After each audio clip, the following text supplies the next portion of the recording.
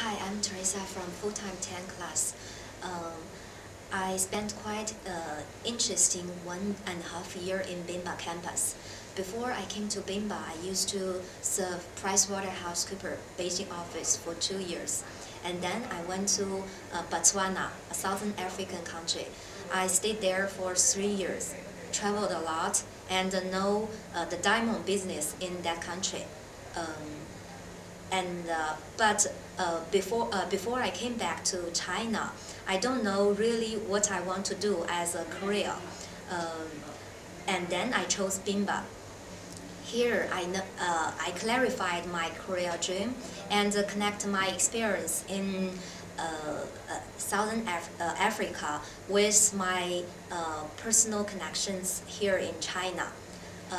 Uh, and now I'm doing my own business as a jewelry seller, uh, mainly doing uh, colorful gemstones, uh, which make me feel very interesting as a female to do the stuff of fashion and uh, uh, every day I can face the beautiful stones.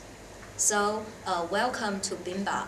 Uh, this is a place which can make you think about your real, your real dream and uh, clarify what you want to, you really want to do.